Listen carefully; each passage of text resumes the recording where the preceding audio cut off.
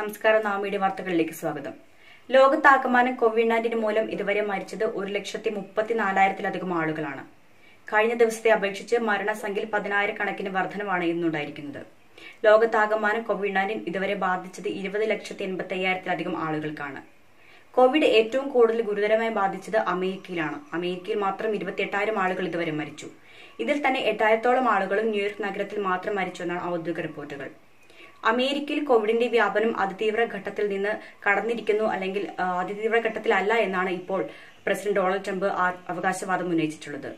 മാത്രമല്ല അമേരിക്കയുടെ തകർന്നടിഞ്ഞിരിക്കുന്ന സാമ്പത്തിക രംഗത്തെ പുനരുജ്ജീവിപ്പിക്കാനുള്ള പ്രവർത്തനങ്ങളും അമേരിക്ക തുടങ്ങി വെച്ചിരിക്കുന്നു. ഈ മാസം അവസാനത്തോടു കൂടി തന്നെ നിയന്ത്രണങ്ങളിൽ മാക്സിമം ഇളവ് വരുത്താനുള്ള ശ്രമം നടത്തുമെന്നാണ് ഡൊണാൾഡ് ട്രംപ് വൈറ്റ് ഹൌസിൽ നടത്തിയ വാർത്താ സമ്മേളനത്തിൽ അറിയിച്ചിട്ടുള്ളത്. കോവിഡിനെതിരായ പോരാട്ടം തുടരുകയാണെന്നും എന്നാൽ രാജ്യം തീവ്രഘട്ടം പിന്നിട്ടിരിക്കുന്നതായി പുതിയ റിപ്പോർട്ടുകൾ ചൂണ്ടിക്കാട്ടുന്നു.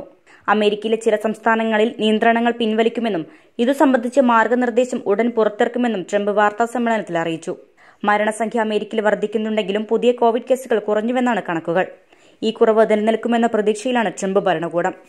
ഗവർണർമാരോട് കൂടിയാലോചിച്ചതിനു ശേഷം ചില സംസ്ഥാനങ്ങളിൽ നിയന്ത്രണങ്ങൾ പിൻവലിക്കും.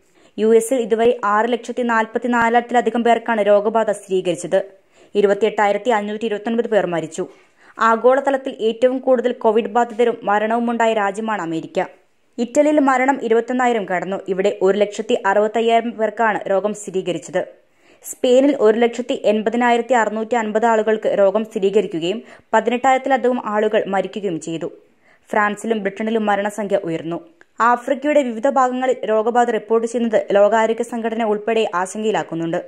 ബംഗ്ലാദേശിലും ആഫ്രിക്കൻ രാജ്യങ്ങളിൽ രോഗം വർദ്ധിക്കാനാണ് സാധ്യത. അതേസമയം ചൈന ജർമ്മനി സ്പെയിൻ തുടങ്ങിയ രാജ്യങ്ങളിൽ രോഗമുക്തി നേടുന്നവരുടെ എണ്ണത്തിൽ വർധനവുണ്ടായെന്നത് ആശ്വാസം പകരുന്നു. ചൈനയിൽ ഇതുവരെ എഴുപത്തി ഏഴായിരത്തി എണ്ണൂറ്റി തൊണ്ണൂറ്റിരണ്ട് പേരാണ് രോഗമുക്തരായിട്ടുള്ളത്.